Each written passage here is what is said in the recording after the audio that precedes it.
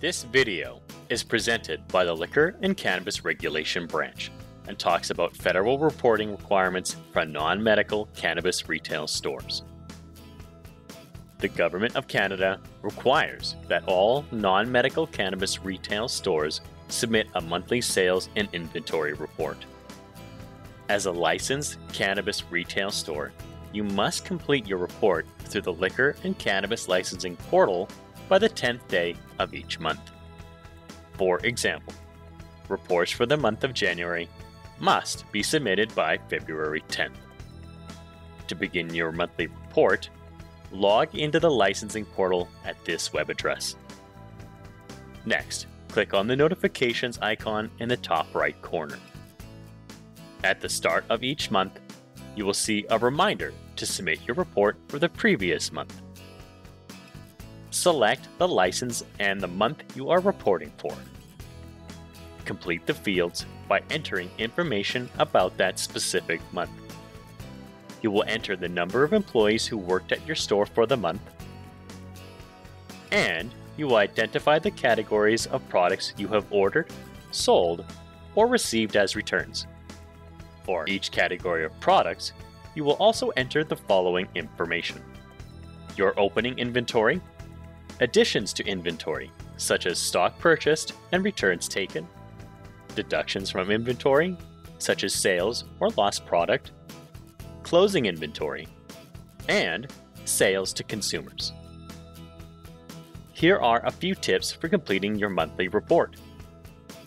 Tip 1 There is a time limit in the system of 20 minutes it may be helpful to gather your data together before logging into the system to complete your report. You can also click the Save for Later button after entering each category of information.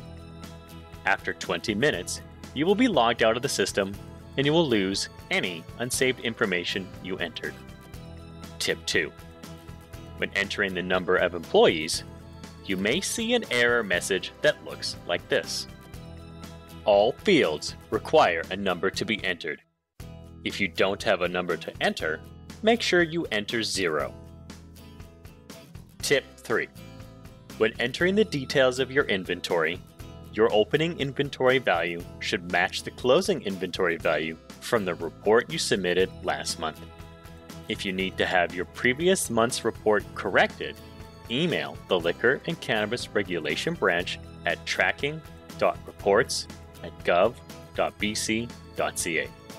Our team can then open your previous month's report so that you can correct it before you move on to complete your current monthly report. When entering your closing inventory, ensure you complete all the fields including the number of units, the value, and the weight. Tip 4. When entering numbers in the online report, avoid entering 0.00 after any number entering 1.23 kilograms is fine, but instead of entering 2.00 kilograms, simply leave it as 2 kilograms. The same applies to any dollar values. Tip 5. When entering any weights for products, remember that this is the weight of the cannabis minus the packaging. You can find the weight information on the product label. The weight of the product should not be confused with the quantity of THC in the product or the equivalency of the product to dried cannabis. All weights entered must be in kilograms. To help determine the product weights of items like beverages or oils, visit our website. Use the website search bar to look for Cannabis Store Reporting Requirements. Tip 6 the report will ask you about domestic reductions to your inventory. This is your sales, and the number in this field should be the same as the number in the sales to consumer field. Once you have completed your report, click on the Submit button, and you're done with your report for the month. More information can be found on our website. Use the search bar to look for Cannabis Store Reporting Requirements. If you have additional questions, talk to your local inspector or contact the Liquor and Cannabis Regulation Branch.